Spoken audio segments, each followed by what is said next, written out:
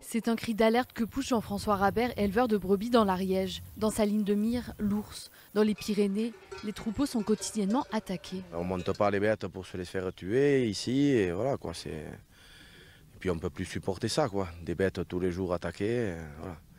C'est plus possible. L'année dernière j'ai perdu 61 bêtes, j'ai eu 33 attaques, j'ai eu 7 brebis de, de.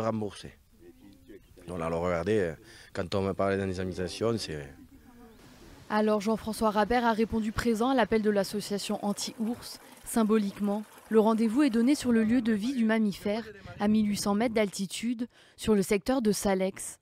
Pour atteindre le sommet, les anti-ours n'ont pas hésité à marcher plusieurs heures, l'occasion de placarder leurs revendications tout au long de la randonnée. Aujourd'hui c'est clair, les mesures de protection sont complètement inefficaces, c'est de l'argent qui est balancé dans les fenêtres pour rien.